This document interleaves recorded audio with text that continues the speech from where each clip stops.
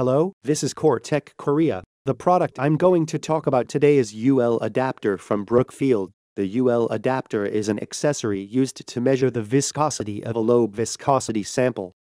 A small sample of 16 milliliters can measure the low viscosity of the lowest daily centipoise. Also, universal coupling nuts are applied to the spindle for easy detachment, and the temperature of the sample can be kept constant with a circulating water bath.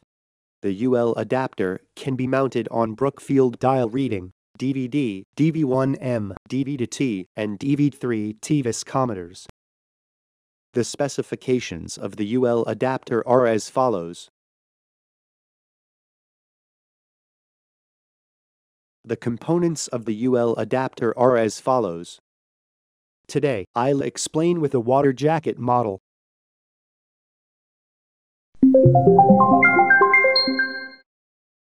Today, we will explain with a DV to T viscometer. Rotate the locating channel assembly top screw clockwise to the connection on the back of the pivot cup. Place the spindle in the chamber tube and attach the fixing hook to the bottom of the locating channel assembly. Use the power switch on the back of the main body to turn on the power. The display shows the phrase, remove spindle and level the viscometer. Make sure that the spindle is disconnected and the viscometer is level, then touch the next button. Proceed auto zero for a while. The auto zero compilation message is displayed. Touch the next button again to go to the measurement waiting screen. Attach the spindle to the coupling screw. To prevent damage to the pivot, lift the coupling screw slightly upwards when the spindle is combined. With the coupling screw slightly raised upwards, rotate the spindle clockwise to combine. Remove the chamber tube by turning the fixing ring counterclockwise. Place the sample in the chamber tubes by 16 milliliters. Fix the chamber tube containing the sample to the fixing ring.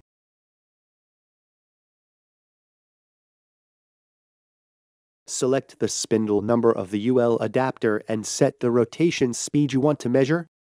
If necessary, you can set the measurement end condition. Connect the constant temperature water bath.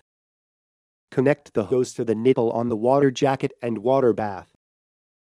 Set the temperature of the sample using the constant temperature water bath. To determine the actual temperature of the sample, measure the temperature of the sample directly with the temperature sensor disconnected. Press the Run button when the sample reaches the set temperature. The display shows data from the sample you are measuring.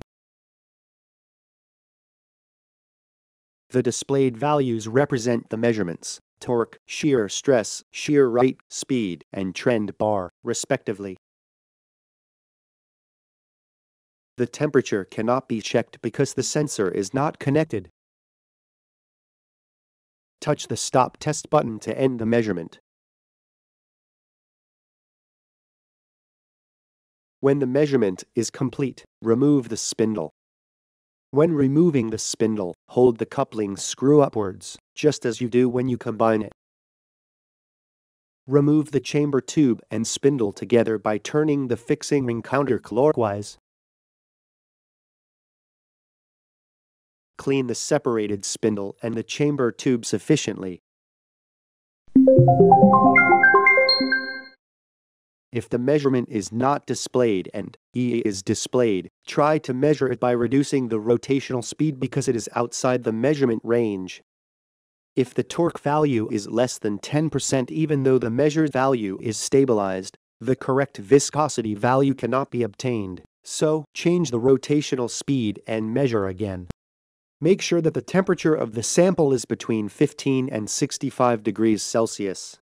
If you want to measure samples outside their temperature range, separate consultation is required.